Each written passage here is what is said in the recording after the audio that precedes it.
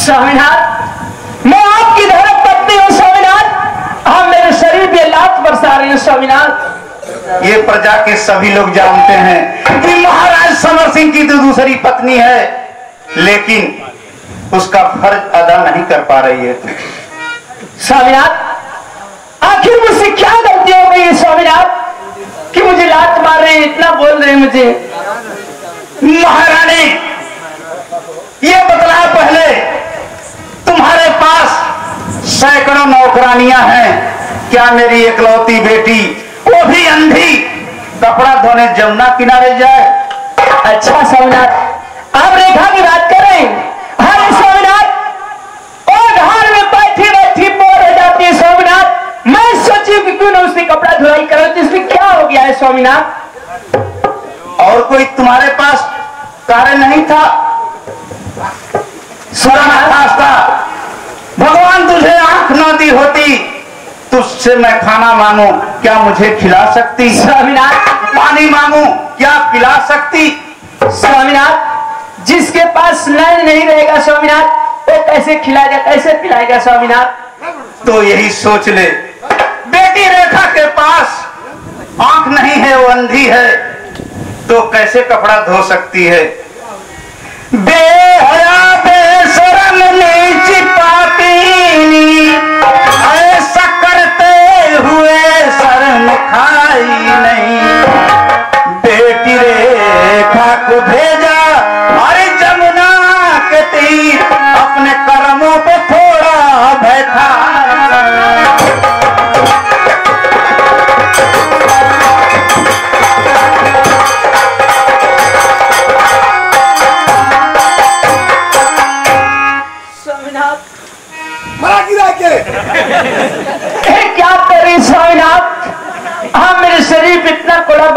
स्वामीनाथ तुम इसी के लायक हो नहीं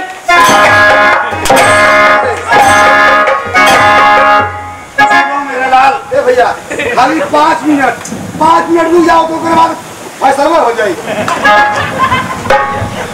पिताजी आप ये क्या कर रहे हैं? आप देख रहे हैं कि आपके सामने आपके बच्चे खड़े हैं फिर भी आप माँ के शरीर पर घोड़े चला रहे हैं जानते कि औरत है ये नारी जात है। इन्हें जितना ही आप मारेंगे उतना ही ये कि जो औरत बात से नहीं समझेगी वो कभी मार नहीं इसलिए आप शब्दों से समझेंगे बातों समझेंगे। देख लिया ये तुम्हारा सौतेला पुत्र है। ये माँ की ममता को समझता है। अरे तू कैसी दुष्ट माँ है जो बच्चों की ममता को नहीं समझ स्वामीनाथ? ऐसी गलती कभी नहीं करूँगी स्वामीनाथ। ठीक है। आज तुझे मैंने माफ़ कर दिया लेकिन महारानी इस राज्य की मर्यादा बचाना है तुझे। तो आज से दोबारा इस तरह की गलती मत करना। नहीं करूँगी स्वामीनाथ। मुझे आज्ञा दीजिए मैं चलूँ। जा सकती है। जा जा जा। माफ़ कर मालिक। मरद का उनकी दो गलफन न कर। सीधी बातें क्या करता है तू। जले पे नमक छिड़कता रहता है तू।